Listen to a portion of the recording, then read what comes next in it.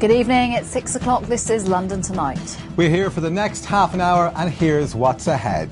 Marcus Powell is live at Craven Cottage for us now. Oh dear, oh dear. What next then for Fulham? Now to Robin with the weather.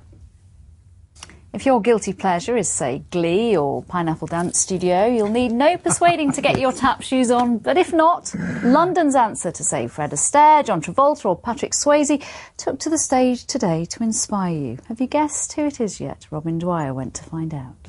First of all, it was brilliant fun. Well, excellent then. Yeah, she likes it, doesn't she? Well, she struck- loves struck- it. Need your marks now. Len Goodman Styley, out of ten Oh. for that little. Uh, No, come on, across the nation to, to get on their dancing Yeah. shoes in in like you know thinking about 2012 coming up, get out, get fit, and everything. Yes. But what about right ruling out the polling and the people with two left feet? They're just they're better off sitting and watching, aren't they? Staying on the sofa. Trust me, I've taught a lot of people through my time and singing ballroom and Latin, and I just I like performing, and I just Uh, you I'm do telling dancing on injuries. Anisdale? I've never. Sure.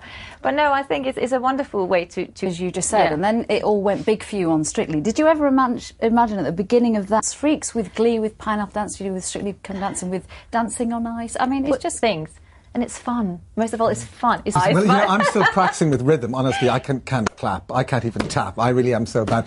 But um, hope dance will do for those games. well, I'm hoping. and the London team for tonight. Donal will be here with our late bulletin right after the news at ten. And don't forget, you can follow all the action in the capital on our website, itv.com forward slash London. Up next, it's the ITV News at six thirty. From all of us here, bye bye.